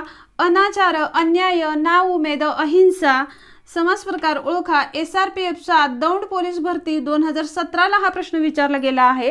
तर बघा या शब्दाच्या सुरुवातीला इथं अ आहे इथं पण अ आहे इथं ना आहे इथं अ आहे. ज्या शब्दाच्या सुरुवातीला अ अन न नी ना बे गैर असे शब्द असतात त्यालाच उपसर्ग असं व्याकरणिक भाषेमध्ये म्हणतात. असे शब्द असतात ते सर्व शब्द नय किंवा नत्र तत्पुरुष समासाचे असतात. त्यामुळे ह्याचं पर्याय नंबर तीन हे त्याचं उत्तर असणार आहे. अशा पद्धतीने विद्यार्थी मित्रांनो आपण तत्पुरुष समास आणि त्याचे उपप्रकार यांचा सविस्तर शिवाय ट्रिकनुसार अभ्यास केलेला आहे. त्यामुळे व्हिडिओ स्किप न करता नक्की पहा. द्वंद्व समास या प्रकाराचा अभ्यास करणार आहोत आणि तो सुद्धा शॉर्टकट आणि ट्रिक्सच्या पद्धतीने करणार आहोत. परंतु नेहमीप्रमाणे मी ते प्रकार व्यवस्थित समजूनही सांगणार आहे. त्यामुळे व्हिडिओ स्किप न करता शेवटपर्यंत नक्की पहा. तर बघा द्वंद्व समास. ज्या समासात दोन्ही पदे महत्त्वाची असतात. दोन्ही पदे किंवा दोन्ही शब्द महत्त्वाचे असतात त्या समासास द्वंद्व समास असं म्हणतात. म्हणजे काय? तर जसं इथं बघा आई बाबा याच्यामध्ये आई आणि बाबा हे दोन शब्द आहेत. तर हे दोन्ही शब्द ज्या समासात महत्त्वाचे असतात त्या समासास द्वंद्व समास असं म्हणतात. आणि द्वंद्व समासाचं एक महत्त्वाचं वैशिष्ट्य हे आहे की द्वंद्व समासामध्येच फक्त म्हणजे एकूण समास प्रकारांपैकी फक्त आणि फक्त द्वंद्व समासाच मध्ये उभयान्वयी अवयांचा वापर केला जातो. मित्रांनो लक्षात घ्या जर परीक्षेला व्याख्येव्यतिरिक्त त्यांच्या इतर गुणधर्मांवरही प्रश्न विचारले जातात हे अलीकडच्या परीक्षांमध्ये आपल्याला दिसून येते. त्याच्यामुळे जर असं विचारलेलं असेल की समास प्रकारांपैकी कोणत्या समास प्रकारामध्ये उभयान्वयी अवयांचा वापर होतो तर त्याचा आन्सर असणार आहे द्वंद्व समास. तर द्वंद्व समासाचे उपप्रकार आहेत तीन. इतरेतर द्वंद्व समास वैकल्पिक द्वंद्व समास आणि समाहार द्वंद्व समास. लक्षात घ्या की द्वंद्व समासात उभयान्वयी अव्ययांचा वापर होतो हे बरोबर आहे. मात्र उभयान्वयी अव्ययांचे सुद्धा दोन प्रकार पडतात. प्रधानत्व सूचक उभयान्वयी अव्यय आणि गौणत्व दर्शक उभयान्वयी अव्यये. तर लक्षात घ्या द्वंद्व समासामध्ये फक्त आणि फक्त प्रधानत्व सूचक कोणते अव्यय वापरतात? प्रधानत्व सूचक उभयान्वयी अव्ययांचा वापर होतो. व प्रधानत्व सूचकचे पण चार उपप्रकार आहेत. त्यातलं फक्त समुच्चय बोधक आणि विकल्प बोधक उभयान्वयी अव्ययांचा वापर द्वंद्व समासामध्ये केला जातो. लक्षात काय ठेवायचं? की द्वंद्व समासामध्ये प्रधानत्व सूचक उभयान्वयी अव्ययांचा वापर केला जातो आणि प्रधानत्व सूचक मधील समुच्चय बोधक आणि विकल्प बोधक या उभयान्वयी अव्ययांचा वापर द्वंद्व समासामध्ये केला जातो. तर द्वंद्व समासाचे उपप्रकार आहेत तीन ते आपण सविस्तर आणि शिवाय ट्रिकने कसे लक्ष ठेवायचे आहेत हेही पाहायचं आहे. त्यामुळे व्हिडिओ शेवटपर्यंत नक्की पहा. तर पहिला त्यातला प्रकार आहे बघा इतरेतर द्वंद्व समास इतरेतर द्वंद्व समासामध्ये लक्षात काय ठेवायचं? समुच्चय बोधक उभयान्वयी अव्ययांचा वापर होतो. तर वैकल्पिक द्वंद्व समासामध्ये विकल्पबोधक उभयान्वयी अव्ययांचा वापर होतो जी प्रधानत्व सूचक मधली आहेत. तर समाहार द्वंद्व समासामध्ये समुच्चय बोधक उभयान्वयी अव्ययांचा वापर होतो आणि ती कशातली आहेत? प्रधानत्व सूचक मधली आहेत. तर इतरेतर द्वंद्व समासामध्ये समुच्चय बोधक मधील आणि आणि व या दोन उभयान्वयी अव्ययांचा वापर केला जातो. तर बघा इथं आई बाबा ह्याची फोड कशी होते? आई व बाबा ह्या शब्दांच्या मध्ये मध्ये व हे उभयान्वयी अव्यय लिहिलेलं आहे. दोन शब्दांच्या मध्ये. इथं काका आणि काकी असे दोन शब्द आहेत. त्या दोन शब्दांच्या मध्ये आणि हे उभयान्वयी अव्यय लिहिलेलं आहे. म्हणजे ज्या शब्दांची फोड करताना आणि व ही उभयान्वयी अव्यय वापरले जातात ते सर्व शब्द इतरेतर द्वंद्व समासाचे असतात. आता एवढं करू करूनही बऱ्याच जणांना कुठला शब्द इतरेतरमध्ये टाकायचा किंवा कुठला शब्द वैकल्पिक द्वंद्व समासमध्ये टाकायचा हेच समजत नाही. तर त्यासाठी काय करायचं आहे की जसं आई बाबा विशिष्ट नाते संबंध दर्शवणारा शब्द आहे काका काकी विशिष्ट नातेसंबंध दर्शवणारा शब्द आहे. म्हणजे असे जे नातेसंबंध दर्शवणारे शब्द असतील ते सर्व शब्द इतर इतर द्वंद्व समासमध्ये टाकायचे. उदाहरणार्थ काका काकी मामा मामी आजी आजोबा ताई दादा बहीण भाऊ यांसारखे विशिष्ट नातेसंबंध दर्शवणारे शब्द हे इतरेतर द्वंद्व समासाचेच असतात ही त्याची ओळखण्याची ट्रिक आहे. शिवाय जसं बघा शर्ट म्हटलं की आपण बनियन म्हणत नाही शर्ट म्हटलं की आपण पॅन्टच म्हणतो. म्हणजे विशिष्ट एखादा घटक तर त्याच्याशी संबंधित विशिष्ट दुसरा तोच घटक असतो असे जे शब्द. म्हणजे शर्ट म्हटलं की आपण पॅन्टच म्हणतो बॅट म्हटलं की आपण बॉलच म्हणतो मराठीमध्ये त्याला चेंडू फळी असं म्हणतात. तर चेंडू फळी असं म्हणतात. तर अशा पद्धतीने विशिष्ट एखादा घटक आणि त्याच्याशीच संबंधित दुसरा घटक असतो. आणि त्याचंच आपण नाव घेतो. असे सर्व शब्द इतर इतर द्वंद्व समासाचे असतात. उदाहरणार्थ शर्ट पॅन्ट चेंडू फळी बॅट बॉल विटी दांडू असे शब्द. पुढचं बघा इथं कृष्णार्जुन. कृष्ण व अर्जुन कृष्ण किंवा कृष्ण आणि अर्जुन अशी पण फोड होऊ शकते. तर इथं कृष्ण अर्जुन दोन व्यक्तींची नावं आहेत. असे दोन व्यक्तींची नावं दर्शवणारे जे शब्द असतात ते इतरेतर द्वंद्व समासाचे असतात. कृष्णार्जुन भीमार्जुन अहिनकुल असे जे किंवा कर्ण अर्जुन असे जे शब्द आहेत ज्याच्यामध्ये दोन व्यक्तींची नावं दडलेली असतात तर असे सर्व शब्द इतरेतर द्वंद्व समासाचे असतात. तर ट्रिकनुसार पुन्हा एकदा सांगते लक्षात काय ठेवायचं? ना जवळचे नातेसंबंध दर्शवणारे शब्द काका काकी मामा मामी आजी आजोबा आई बाबा ताई दादा बहीण भाऊ असे सर्व शब्द इतरेतर द्वंद्व समासाचे. शिवाय एखाद्या घटकाचा उल्लेख केला की त्याच्याशी संबंधित दुसरा घटक तोच आठवतो. उदाहरणार्थ शर्ट पॅन्ट चेंडू फळी बॅट बॉल विटी दांडू अशा पद्धतीचे सर्व शब्द कशामध्ये जाणार? इतरेतर द्वंद्व समासमध्ये जाणार. शिवाय दोन व्यक्तींची नावं व्यक्त करणारे कृष्ण अर्जुन भीमा अर्जुन करण अर्जुन अहिनकुल अशा पद्धतीचे जे शब्द असतात ते सर्व शब्द कशामध्ये जाणार? इतरेतर द्वंद्व समासामध्ये जाणार.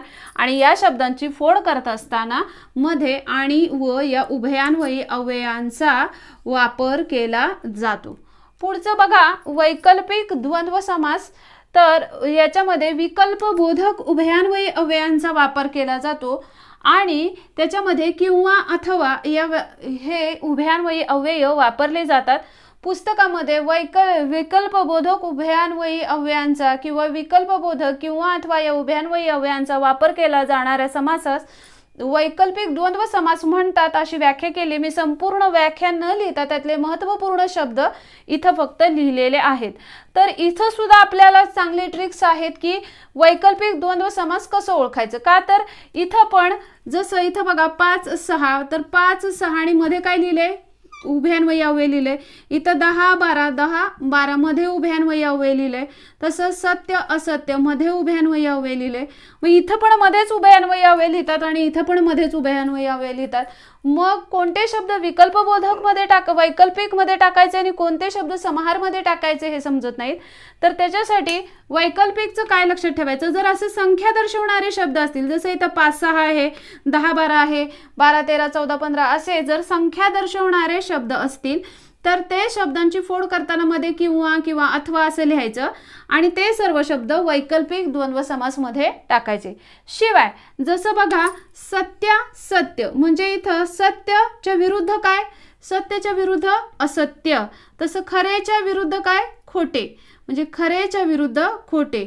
सत्यच्या विरुद्ध असत्य. चांगल्याच्या विरुद्ध वाईट चांगले वाईट बरे वाईट बरेच्या विरुद्ध वाईट. अशा पद्धतीने जर विरुद्ध अर्थ दर्शवणारे शब्द एकत्रित आलेले असतील तर ते शब्द वैकल्पिक द्वंद्व समासमध्ये टाकायचे आहेत. ओव्हरऑल लक्षात काय ठेवायचं? की जर संख्या व्यक्त करणारे शब्द असतील तर ते वैकल्पिक द्वंद्व समासमध्ये टाकायचे. जर असे विरुद्ध अर्थ दर्शवणारे शब्द एकत्रित आले असतील तर ते सुद्धा वैकल्पिक द्वंद्व समासमध्ये टाकायचे. हा झाला दुसरा द्वंद्व समासाचा प्रकार. पुढचा तिसरा द्वंद्व समासाचा प्रकार आहे समाहार द्वंद्व समास तर मित्रांनो लक्षात घ्या समाहार द्वंद्व समासामध्ये समुच्चय बोधक हे प्रधानत्व सूचक उभयान्वयी अव्ययातलं वापरलं जातं. आणि समाहार द्वंद्व समासामध्ये फक्त व या उभयान्वयी अव्ययाचा वापर होतो. मात्र व या उभयान्वयी अव्ययाचा वापर करावाच असं काही कंपल्शन नाही आहे केला तरी चालतो नाही केला तरी सुद्धा चालतो या शब्दांची फोड करत असताना. उदाहरणार्थ बघा वेणीफणी वेणीफणी असं शब्द आहे. तर वेणीफणी या शब्दाची फोड वेणीफणी इत्यादी अशी पण होऊ शकते. आता वेणीफणी इत्यादी अशी केले तर इथं आपण उभ्यान्वयी अव्यय लिहिलेलं नाही. मात्र त्याच्याऐवजी वेणीफणी व इतर आवरा आवर असं आपण लिहू शकतो. म्हणजे इथं वेणीफणी हा पूर्ण शब्द सुरुवातीला लिहिलाय आणि नंतर काय लिहिलंय? व हे उभ्यान्वयी अव्यय लिहिले. तसंच बघा शेतीवाडी तर शेतीवाडी इत्यादी अशी पण फोड होऊ शकते. किंवा शेतीवाडी व इतर स्थावर मालमत्ता अशी पण फोड होऊ शकते. पुस्तकामध्ये तशी दिलेली आहे. केर कचरा तर केर कचरा इत्यादी अशी फोड होऊ शकते. किंवा केर कचरा व इतर टाकाऊ पदार्थ अशी पण फोड होऊ शकते. जसं बाजारहाट तर बाजारहाट इत्यादी अशीही फोड होते. शिवाय बाजारहाट व इतर तत्सम वस्तू अशी पण त्याची फोड होते. म्हणजे इतर वगैरे असं लिहायचं असेल तर व हे उभ्यान्वय अव्यय लिहिलं तरी चालतं किंवा नाही लिहिलं तरी चालतं. तर ह्याच्यातलं वेगळे ह्या दोन प्रकाराने ह्यातला वेगळेपणा काय आहे? तर समाहार द्वंद्व समासामध्ये बघा पूर्ण शब्द आधी लिहिला जातोय. त्याची फोड केली जात नाही. वेणी व फणी असं आपण म्हणत नाही. किंवा शेती व वाडी असं नाही म्हणत. केर व कचरा बाजार किंवा हाट असं आपण म्हणत नाही. म्हणजे हे शब्द तोडून वापरले जाऊच शकत नाहीत.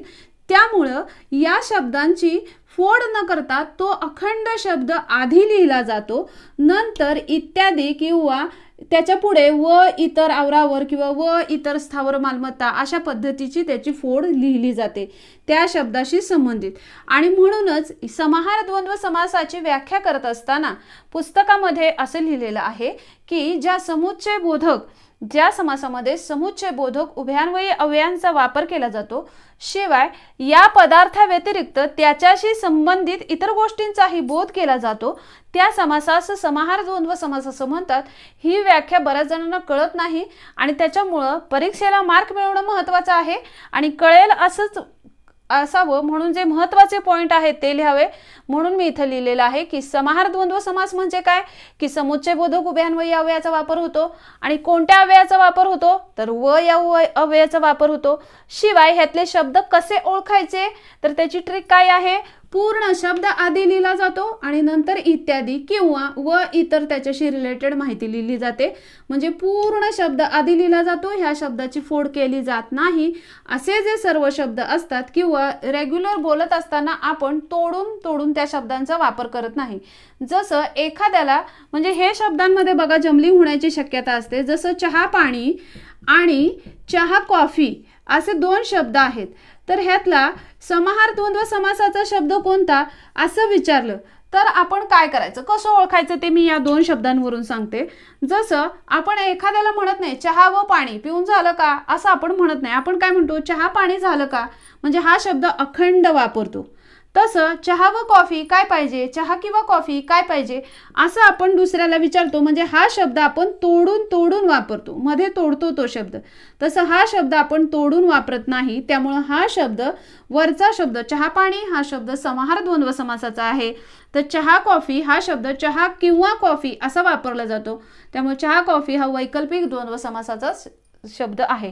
अशा पद्धतीने मित्रांनो आपण द्वंद्व समासाचे तीन प्रकार शॉर्ट बट ट्रिक्सने अभ्यासलेले आहेत. तर व्हिडिओ अतिशय काळजीपूर्वक पहा आणि याचे शॉर्ट नोट्सही काढून ठेवा. मी इथं त्याचे शॉर्ट नोट्समध्ये बोलताना जे तुम्हाला ट्रिक्स सांगितलेल्या आहेत त्या इथं लिहिलेल्या नाहीत. तर मी बोलत असताना ज्या ट्रिक्स सांगितल्या त्या तुम्ही शॉर्ट नोट्समध्ये तुमच्या नोट डाऊन करून घ्या. जेणेकरून यापुढे तुम्हाला द्वंद्व समासाचा कोणताही शब्द आला तर तो अगदी चांगल्या प्र पद्धतीने ओळखता आला पाहिजे. आणि म्हणूनच अर्थातच द्वंद्व समास हा परीक्षेच्या दृष्टीने अतिशय महत्त्वाचा आहे. परीक्षेला यावर अनेक प्रश्न विचारलेले दिसून येतात. त्यामुळे आपण पुढे जाऊन द्वंद्व समासावर कोणत्या प्रकारचे शब्द प कोणत्या प्रकारचे प्रश्न परीक्षेला येऊन गेले आहेत हे पाहणार आहोत. त्यामुळे व्हिडिओ स्किप नाही करायचा शेवटपर्यंत पाहायचा. प्रश्नही त्यावरचे पाहिले तर तो टॉपिक सोडवतानाचा एक चांगला कॉन्फिडन्स तुमच्यामध्ये येणार आहे. त्यामुळं व्हिडिओ शेवटपर्यंत नक्की पहा. आता आपण द्वंद्व समासावर आधारित कोणकोणत्या परीक्षांना कोणकोणत्या पद्धतीचे प्रश्न आलेत याचा आढावा घेऊया. तर पहिला प्रश्न आहे चहा पाणी या सामासिक शब्दाचा समास ओळखा. D Ed T E T दोन हजार दहाला हा प्रश्न येऊन गेलेला आहे. तर बघा चहा पाणी. चहा पाणी मगाशीच मी सांगितलं चहा पाणी हा शब्द आपण अखंड वापरतो. म्हणजे चहा किंवा पाणी पिऊन झालं का असं नाही म्हणत. आपण चहा पाणी झालं का असं म्हणतो. म्हणजे तो शब्द अखंड वापरतो. जो शब्द अखंड वापरतो तो शब्द समाहार द्वंद्व समासमध्ये जातो. आणि म्हणून याचा आन्सर आहे समाहार द्वंद्व समास पर्याय नंबर एक. पुढचा शब्द आहे समाहार द्वंद्व समासाचे उदाहरण कोणते? पी एस आय दोन हजार बारा लिपिक टंकलेखक दोन हजार चौदाला हा प्रश्न विचारलेला आहे.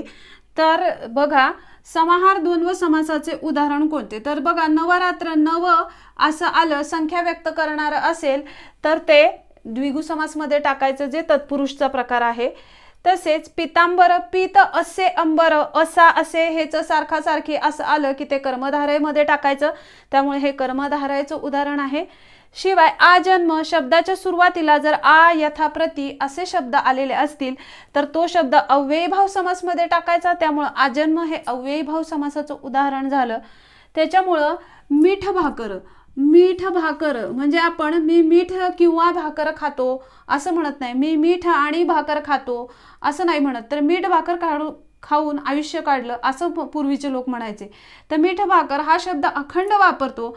जो शब्द न तोडता अखंड वापरतो तो शब्द समाहारमध्ये टाकायचा आहे. त्यामुळं मीठ भाकर हा समाहार द्वंद्व समासाचं उदाहरण असणारा शब्द आहे. त्यामुळं आन्सर पर्याय नंबर दोन. पुढचं बघा राम लक्ष्मण कोणत्या समासाचे उदाहरण आहे. राम लक्ष्मण कोणत्या समासाचे उदाहरण आहे? एस आर पी एफ पाच दौंड पोलीस भरती दोन हजार अठराला हा प्रश्न येऊन गेलेला आहे. तर बघा राम लक्ष्मण मगाशीच मी ट्रिक्स सांगताना सांगितले की जर दोन व्यक्तींची नावं आलेली असतील इथं राम आणि लक्ष्मण अशी दोन व्यक्तींची नावं आहेत. जर दोन व्यक्तींची नावं आलेली असतील तर तो शब्द इतरेतर द्वंद्व समासामधला असतो. अर्थात इथे इतरेतर द्वंद्व समास हा पर्यायच दिलेला नाही. दिलेला काय आहे? मुख्य प्रकार दिलेला आहे. म्हणजे हे उदाहरण द्वंद्व समासाचे आहे. जर उपप्रकार विचारला असतं तर तो इतरेतर द्वंद्व समासमध्ये आलेला असतं. त्यामुळे ह्याचा आन्सर पर्याय नंबर तीन द्वंद्व. पुढचं बघा चौथा प्रश्न. भाजीपाला घेऊन बाबा घरी आले. अधोरेखित शब्दाचा समास ओळखा. मुंबई लोहमार्ग पोलीस भरती दोन हजार अठराला हा प्रश्न येऊन गेलेला आहे. तर इथं अधोरेखित भा भाजीपाला या शब्दाला आहे. तर भाजीपाला हा शब्द मी भाजी व पाला आणला असं नाही म्हणत. मी भाजी किंवा पाला आणला असं पण म्हणत नाही. आपण काय म्हणतो? मी भाजीपाला आणायला गेलो होतो. म्हणजे भाजीपाला हा शब्द आपण अखंड वापरतो तो तोडून वापरत नाही. त्यामुळं हा शब्द समाहार द्वंद्व समासाचे उदाहरण आहे म्हणून ह्याचा आन्सर असणार आहे. पर्याय नंबर एक समाहार. तर अशा पद्धतीनं आपण द्वंद्व समास त्याचे उपप्रकार त्यांच्या उपप्रकारावरचे हिंट्स कशा ट्रिक्सने ते ओळखायचे आहेत शिवाय त्यावर आधारित आलेली विविध परीक्षांना आलेली उदाहरणं यांचा अभ्यास केलेला आहे. त्यामुळं हा व्हिडिओ शंभर टक्के तुम्हाला परीक्षेच्या दृष्टीने अतिशय उपयुक्त आहे. तुमच्याबरोबरच इतर तुमच्या मित्रांना मित्र मैत्रिणींना याचा उपयोग झाला पाहिजे परीक्षेसाठी. या यासाठी हा व्हिडिओ जास्तीत जास्त शेअर करा. मी प्रश्न लिहिलेला आहे बोर्डवर. प्रश्न असा आहे भालचंद्र या शब्दाचा समास ओळखायचा आहे. त्याला पर्याय दिलेले आहेत बहुरीही समास व्याधिकरण विभक्ती बहुरीही समास विभक्ती बहुरीही वरील सर्व प्रकारातील हा शब्द आहे असे चार पर्याय दिलेले आहेत. यापैकी नक्की कोणता पर्याय आहे ज्या विद्यार्थ्यांना याचं उत्तर येत असेल त्या विद्यार्थ्यांनी मला कमेंट बॉक्समध्ये याचं उत्तर कमेंट करून सांगायचं आहे. आणि ज्या विद्यार्थ्यांना याचं उत्तर येत नसेल त्यांनी बहुरीही समास हा टॉपिक मी तुम्हाला पुढे शिकवणार आहे. तो शेवटपर्यंत पहा आणि मला त्याचं उत्तर सांगा. आणि हा टॉपिक पूर्णपणे बघितल्यानंतर तुम्हाला याचं उत्तर हंड्रेड अँड वन पर्सेंट येणारच आहे. त्याच्यामुळं अशा ज प्रश्नांसाठी हा व्हिडिओ पाहणं गरजेचं आहे. तर व्हिडिओ पुढचा शेवटपर्यंत नक्की पहा. पाहूया आपण बहुरीही समास. आज आपण समासाचा शेवटचा प्रकार मुख्य प्रकार बहुरीही समास याचा अभ्यास करणार आहोत. लक्षात घ्या मित्रांनो याआधी समासाचे अव्ययीभाव समास तत्पुरुष समास आणि द्वंद्व समास हे या प्रकारांचे व्हिडिओ मी अपलोड केलेले आहेत. ज्यांनी पाहिले नसतील त्यांनी निश्चित पहा. अतिशय सोप्या भाषेत ट्रिकनुसार कशा पद्धतीने तुम्हाला समासातले सामासिक शब्द लक्षात ठेवता येतील हे मी त्या व्हिडिओमध्ये सांगितलेलं आहे. आणि जे नवीन असतील त्यांनी चॅनलला सबस्क्राईब केलेलं नसेल त्यांनी चॅनलला नक्की सबस्क्राईब करा. आणि हा व्हिडिओ शेवटपर्यंत पहा जेणेकरून तुम्हाला समास बहुरीही समास म्हणजे काय आणि त्याचे उपप्रकार म्हणजे काय हे नक्की लक्षात येईल. तर आपण बहुरीही समासाची व्याख्या पाहूया. बघा दोन्ही पदे महत्वाची नसून दोन्ही पदांवरून तिसऱ्या पदाचा बोध होतो त्या समासास बहुरीही समास म्हणतात असं बहुरीही समासाची व्याख्या केली जाते. तर दोन्ही पदे महत्वाची नाहीत म्हण नाहीत आणि त्याच्यावरून तिसऱ्या पदाचा बोध होतो म्हणजे नक्की काय ते बघूया. जसं बघा हा शब्द आहे लक्ष्मीकांत. तर लक्ष्मीकांत याची फोड लक्ष्मी आहे कांता ज्याची असा तो. म्हणजे लक्ष्मी आहे कांता ज्याची असा तो कोण आहे? तर तो आहे विष्णू. म्हणजे या पदावरून आपल्याला विष्णू हे सुचवायचं आहे लक्ष्मी आणि कांता हे सुचवायचं नाही. म्हणजे ही जी दोन पद पद याचा अर्थ शब्द तर ह्या दोन शब्दांवर या दोन शब्दांवरून तिसरंच काहीतरी सुचवायचं असेल. असा जो समास असतो त्याला बहुरेही समास असं म्हणतात. बहुरेही समासातून प्रत्येक जे दोन दोन शब्द दिलेले असतात ज्याला व्याकरणिक भाषेमध्ये पद असं म्हणतात तर त्याच्यावरून तिसऱ्याच कुठल्या तरी पदाचा बोध करायचा असतो. तर तो समास असतो. त्याला बहुरीही समास असं म्हणतात. बहुरीही समासाचे इकडे लक्ष द्या. बहुरीही समासाचे विभक्ती बहुरीही नत्र बहुरीही सहबहुरीही आणि प्रादिबहुरीही असे प्रकार बहुरीही समासाचे येतात. तर हे आपण क्रमाने पाहूया. पहिलं बघूया विभक्ती बहुरीही समास. विभक्ती बहुरीही समासामध्ये बघा याचं पुस्तकामध्ये क्लेरिफिकेशन जास्त दिसत नाही की ज्याची विभक्ती ठरवली जाते तो विभक्ती बहुरी समास असं म्हणतात किंवा त्यांच्या व्याख्याही स्पष्ट दिल्या जात नाहीत. तर विभक्ती ठरवली जाते म्हणजे नक्की कुणाची विभक्ती ठरवली जाते ते आपण पाहूया. जसं इथं बघा लक्ष्मीकांत हा शब्द आहे. तर ह्याच्यामध्ये ह्याची फोड कशी होते? लक्ष्मी आहे कांता ज्याची असा तो. लक्षात घ्या मित्रांनो विभक्ती बहुरीमध्ये म्हणजे बहुरी समासाचा पहिला उपप्रकार काय आहे? विभक्ती बहुरी. तर त्यामध्ये तुम्हाला त्या शब्दाची फोड करायला जमलीच पाहिजे. तर जसं लक्ष्मी आहे कांता ज्याची असा तो ह्याच्यामध्ये दोन पदं किंवा शब्द कोणते? लक्ष्मी आणि कांता. जसं पुढचा शब्द बघा लंबोदर याच्यामध्ये दोन शब्द आहेत लंब आणि उदर. लंब आहे उदर ज्याचे असा तो म्हणजे गणपतीसाठी ते वापरलेलं संबोधन आहे. गजानन गजाचे आहे आनन ज्याचे असा तो चक्र पाणी चक्र आहे पाणी तर ज्याचा असा तो विष्णू. तर अशा पद्धतीनं ते शब्दांची आपण फोड करून घेतली आणि ज्या शब्दांची विभक्ती ठरवायची आहे त्यांना अंडरलाईन करून घेतली. याच्या आधी विभक्ती तत्पुरुष हा तत्पुरुष मधला एक प्रकार येऊन गेलाय. आणि त्याच्यामध्ये विभक्ती तत्पुरुषमध्ये पहिल्या शब्दाला कोणता प्रत्यय लागलाय हे ठरवून त्याच्यावरून त्याची विभक्ती ठरवायची असते. मात्र बहुरीमध्ये हे जे दोन शब्द आहेत म्हणजे या एका शब्दामध्ये दोन शब्द कुठले तर लक्ष्मी आणि कांत लंब आणि उदर गज आणि आनन चक्र आणि पाणी असे दोन दोन शब्द आहेत तर त्या दोन्ही शब्दांची विभक्ती विभक्ती बहुरीमध्ये ठरवावी लागते. आता बघा यांची विभक्ती ठरूया बघा लक्ष्मी लक्ष्मी हा मूळ शब्द आहे त्यामुळे याची विभक्ती येते प्रथमा. याची कुठली येते? प्रथमा. तर कांता कांता याचा अर्थ पत्नी असा होतो. म्हणजे कांता म्हणजे पत्नी. पत्नी हा मूळ शब्द आहे त्यामुळे त्याची विभक्ती प्रथमा. जो जर मूळ शब्द असेल तर त्याची विभक्ती प्रथमाच म्हणायची आहे. पुढचं बघा लंबोदर लंब म्हणजे मोठे. तर हा मूळ शब्द आहे त्यामुळे त्याचा अर्थ त्याची विभक्ती होते प्रथमा. प्रथमा. पुढचं उदर. उदर म्हणजे पोट. पोट हा मूळ शब्द आहे त्याला कोणताही प्रत्यय नाही म्हणून त्याची विभक्ती पण काय होणार? प्रथमा. म्हणजे हा जे ह्या शब्द एक आहे सामासिक शब्द या सामासिक शब्दाची फोड केल्यानंतर लक्ष्मी आणि कांता असे दोन शब्द वेगवेगळे आपल्याला दिसून येत आहेत. तर त्या दोन्ही शब्दांची इथं विभक्ती काय आहे? इथं प्रथम आहे इथं प्रथम आहे. ह्याचे पण इथं प्रथम आहे आणि इथं प्रथम आहे. आता बघा गजानन या शब्दामध्ये गजाचे आहे आनन. म्हणजे या शब्दाशी रिलेटेड शब्द फोड केल्यानंतर कुठले येतात? गजाचे आणि आनन. तर आता इथं गज हा मूळ शब्द आहे. चे हा प्रत्यय लागलेला आहे. तर चे हा षष्ठी विभक्तीचा प्रत्यय आहे. कशाचा आहे? षष्ठी विभक्तीचा प्रत्यय आहे. तर आनन आनन याचा अर्थ तोंड. आनन याचा अर्थ काय? तोंड. तर तोंड हा मूळ शब्द आहे. त्यामुळे ह्याची विभक्ती काय येणार? प्रथमा येणार. हम्म पुढचं बघा चक्र पाणी या शब्दातले दोन शब्द कुठले इथं आहेत रिलेटेड फोर केल्यानंतर तर चक्र आहे पाणी तर ज्याच्या असा तो चक्र हा मूळ शब्द आहे त्यामुळे ह्याची विभक्ती येणार प्रथमा. मूळ शब्द असेल तर प्रथमा विभक्ती म्हणायचं. आता इथे लक्ष द्या मित्रांनो पाणी पाणी तर इथं पाणी तर पाणी लक्षात घ्या ह्याच्यामध्ये पण समानार्थी शब्दांचे तर जर पाणी पाणी या शब्दामध्ये न ला जर दुसरी वेलांटी असेल तर त्याचा अर्थ जल किंवा उदक असा होतो.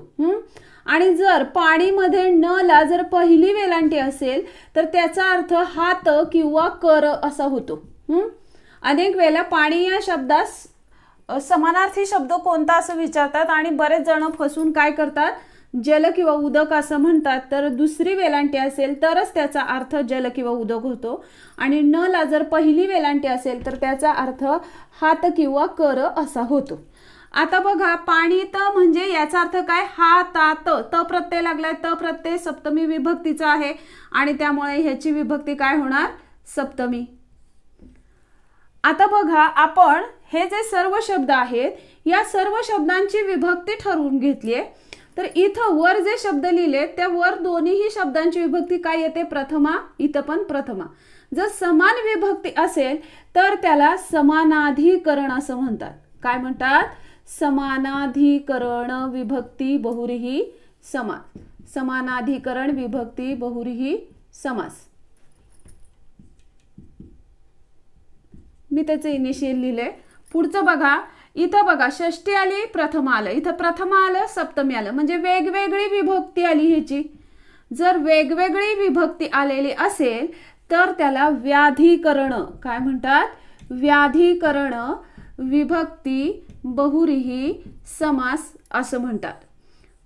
तर हे जे आहे समानाधिकरण आणि व्याधीकरण हे विभक्ती तत्पुरुषचे हे दोन काय आहेत?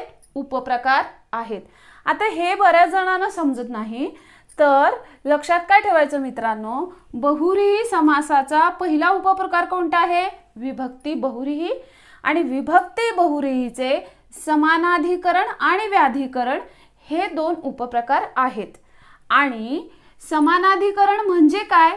तर ज्या वेळेला एखाद्या सामासिक शब्दाची बहुरीही समासातील सामासिक शब्दाची विभक्ती समान येते. जसं इथं प्रथमा प्रथमा प्रथमा प्रथमा. असं दोन्हीही लक्ष्मीकांत आणि लंबोदर या शब्दांची विभक्ती समान समान आलेली आहे. त्यामुळे हा कशामध्ये जाणार? समानाधिकरणमध्ये लक्ष्मीकांत आणि लंबोदर हे शब्द जातात. तर ज्या शब्दांची विभक्ती वेगवेगळी येते म्हणजे जसे इथं षष्टी आणि प्रथम आलेलं आहे इथं प्रथम आणि सप्तमी आलेला आहे. जर विभक्ती वेगवेगळी येत असेल तर अशा शब्दांचा समावेश व्याधिकरणमध्ये होतो. मग व्याधिकरण आणि समानाधिकरण हे विभक्ती बहुरीही समासाचे दोन उपप्रकार आहेत. अशा पद्धतीचे शब्द आपल्याला परीक्षेला विचारले जाऊ शकतात. आपण लक्षात घ्या मित्रांनो हे शिकत असताना सुद्धा शेवटी आपण बहुरेही समासावर कोणते प्रश्न परीक्षेला येऊन गेलेले आहेत हेही पाहणार आहोत. त्यामुळे व्हिडिओ स्किप न करता शेवटपर्यंत पहा. पुढचा प्रकार पाहूया. नत्र बहुरेही समास. याला नत्र असं न म्हणता नय बहुरेही समास किंवा नन बहुरेही समास असे म्हणतात. बघा याची व्याख्या मी थोडक्यात इथे लिहिलेलीच आहे. पूर्ण न लिहिता शॉर्टकटमध्ये आपल्याला जेवढं लक्षात ठेव ठेवता येईल तेवढं गरजेचं आहे.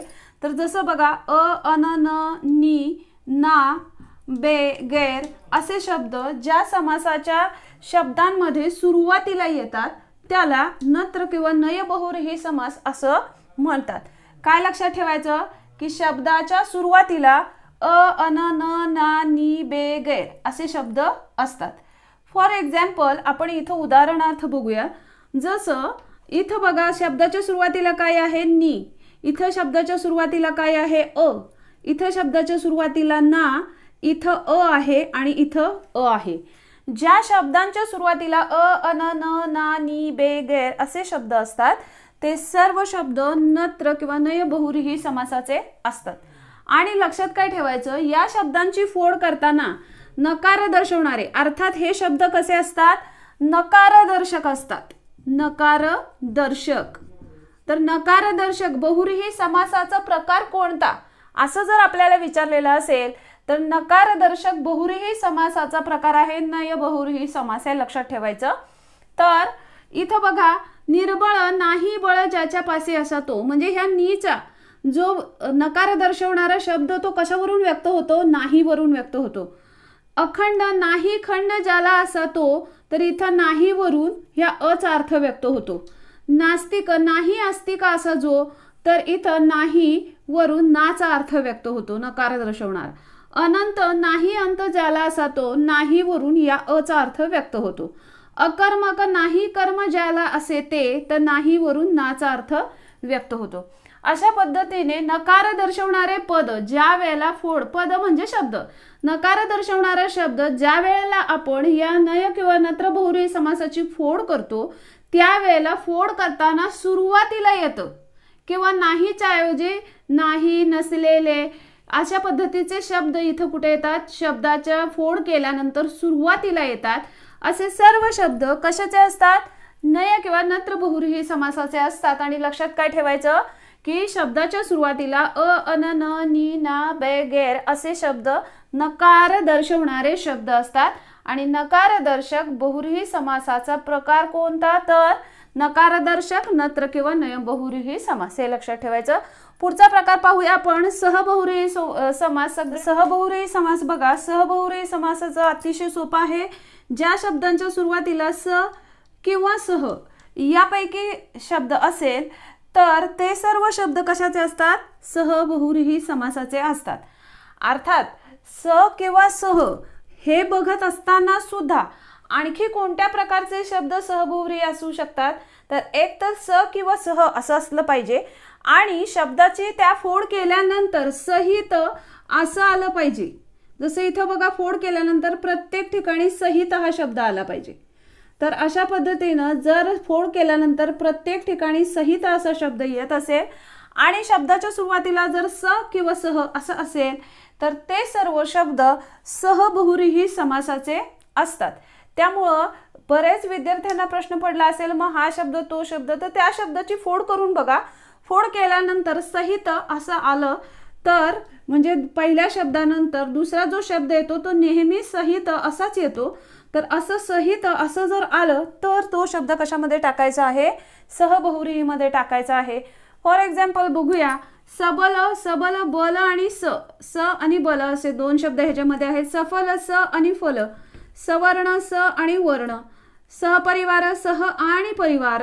ह्या स लक्षात घ्या परीक्षेला. आतापर्यंत सफल सहपरिवार सहकुटुंब. म्हणजे कुटुंबासहित असा जो. म्हणजे एक तर सह कुटुंब असं आलंय सह आलं. आणि शिवाय त्याची फोड केल्यानंतर परत काय आलं? सहित. मग लक्षात कसं ठेवायचं? ट्रिकनुसार की ज्या शब्दांच्या सुरुवातीला स किंवा सह असेल आणि फोड केल्यानंतर फोड केल्यानंतर पहिल्या शब्दानंतर सहित असं आलेलं असेल ते सर्व शब्द कशाचे असणार आहेत? सहबहुरी समासाचे असणार आहेत. या पलीकडे जाऊन सहबहुरी समासाविषयी काहीही अवघड क्वेश्चन कुठल्याच परीक्षेला विचारलेला दिसून येत नाही. प्रादी समास आपण बघूया. तर प्रादी बहुरीही समासामध्ये इथं पण मी व्याख्या मोठी लिहिलेली नाही काही शब्द लिहिलेले आहेत. तर प्र परा अप सु दुरवी असे शब्द ज्या शब्दांच्या सुरुवातीला येतात ते सर्व शब्द कशाचे असतात? प्रादी बहुरीही समासाचे असतात. हे जे मी शब्द म्हणते तेच त्यालाच पुस्तकी भाषेमध्ये किंवा व्याकरणिक भाषेमध्ये व्याख्या देताना काय दिलेले आहे? प्र परा अपसु दुरवी असे शब्द. असे शब्दच्या ऐवजी अशी पदे उपसर्ग घटित पदे ज्या शब्दांच्या सुरुवातीला येतात ते सर्व शब्द प्रादिबहुरीही असं समासाचे असतात. हे अर्थातच व्याकरणिक भाषेमध्ये काय आहेत तर हे उपसर्ग आहेत. मात्र अनेकांना कळत नाही म्हणून मी शब्द असं म्हणते तर बघा याच्यामध्ये दोन शब्द कुठले आहेत? सु आणि मंगल. याच्यामध्ये प्र आणि बल विख्यात. तर याच्यामध्ये वि आणि ख्यात. दुर्गुण दूर आणि गुणी असे दोन शब्द आहेत. तर त्या लक्षात घ्या शब्दांच्या सुरुवातीला काय आलंय इथं? सु आलंय प्र आलंय वि आलंय दूर आलंय. तर र सायलेंट झालंय. लक्षात घ्या दूर रचा पाय मोडलेला आहे. इथं बघा रचा पाय मोडलेला आहे. तर एखाद्या अक्षराचा पाय मोडण्याची पद्धत काय आहे? ते अक्षर अनुच्चारित जर असेल ज्याला आपण इंग्लिशमध्ये सायलेंट लेटर असं म्हणतो जर जे एखादा अक्षर अनुच्चारित असेल. म्हणजे काय की ज्याचा उच्चार पटकन करायचा आहे की उच्चार केलाय की नाही केलाय हे कळता कामा नये. असं ज्या वेळेला असेल तर त्यावेळेला ते शब्दामध्ये जर अक्षर लिहायचं असेल तर त्याचा पाय मोडण्याची पद्धत आहे. इथं र प्रत्यक्षपणे दिसत नाही तर तो रफाराने दिसतोय आणि तोही काय आहे? सायलेंट आहे. तर दुर्गुणी म्हणजे दु गुणांपासून दूर असलेला असा जो विख्यात विशेष ख्याती असलेला असा तो प्रबळ अधिक बलवान आहे असा जो सुमंगल पवित्र आहे असे जे समजा या शब्दांची फोड आली नाही तर मात्र हे पुढचे शब्द लक्षात ठेवणं गरजेचं आहे. प्रपरा अपसु दुरवी अपमान परावलंबी प्रबल सुविचार सुमंगल दुर्गुणी विख्यात अशा पद्धतीचे शब्द आतापर्यंत प्रादिबहुरूहीचे परीक्षेला विचारलेले दिसून येतात. आता आपण बहुरूही समासावर आधारित परीक्षेला कोणकोणते प्रश्न येऊन गेले त्याचा आढावा घेऊया. बघा पहिला प्रश्न आहे चक्रपाणी या सामासिक शब्दाचा प्रकार कोणता? किंवा प्रकार ओळखा. लिपिक किंवा क्लर्क दोन हजार अकरा नागपूर पोलीस दोन हजार सतराला हा प्रश्न येऊन गेलाय. तर चक्रपाणी चक्रपाणी अर्थात इथं मुख्य प्रकार दिलेले दिसून येत आहेत. त्यातला समाहार हा दोन व समासमधला उपप्रकार आहे.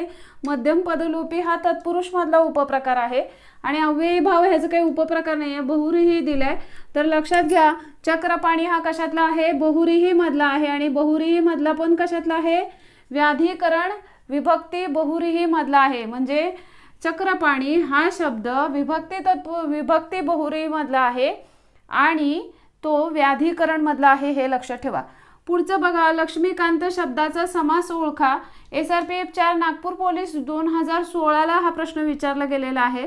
तर लक्ष्मीकांत हा बहुरीही समास मधला आहे. इथं पण मुख्य प्रकारावर विचारलेलं दिसून येते उपप्रकारांची नावं दिलेली दिसत नाहीत. पुढचं बघा हा थोडासा प्रश्न वेगळा आहे. दशानन या शब्दाचा विग्रह ओळखा. गोंदिया पोलीस दोन हजार सतराला हा प्रश्न विचारला गेला आहे. तर दशा आहे तर आनने. आनने आहे. आनन पाहिजे इथं त्यामुळे हा पर्याय होऊ शकत नाही. तर दश पुढचं दुसरा पर्यायला दश आहे तर आनन तो. असं आहे तर दश असं लिहित नाही त्यामुळं हा पर्याय होऊ शकत नाही. चौथा तर पर्याय आहे यापैकी नाही मात्र हा आधी बघायला पाहिजे आणि नंतर यापैकी नाही इकडं गेलं पाहिजे. तर बघा दश आहेत आनन ज्याला असा तो तर हा त्याचा योग्य विग्रह आहे. त्यामुळं पर्याय नंबर तीन हे त्याचा आन्सर असणार आहे. यापैकी नाही हे नसणार. पुढचं बघा नीलकंठ समास ओळखा एस आर पी एफ तेरा गडचिरोली पोलीस भरती. दोन हजार सोळाला हा प्रश्न विचारला गेलेला आहे. इथं पण मुख्य प्रकार दिलेले आहेत उपप्रकार दिलेले नाहीत. तर नीलकंठ हा समास कशामधला आहे?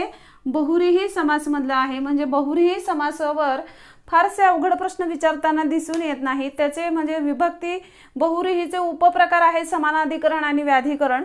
मात्र त्याच्यावर फारसे प्रश्न विचारलेले आपल्याला दिसून येत नाहीत. तर अशा पद्धतीने बहुरेही समास हा ह्या याचे चार उपप्रकार आपण शिकलेलो आहे. तुम्हाला काही त्याच्याविषयी शंका असतील तर कमेंट बॉक्समध्ये कमेंट्स करून नक्की कळवा आणि व्हिडिओ जास्तीत जास्त विद्यार्थ्यांपर्यंत शेअर करा. धन्यवाद.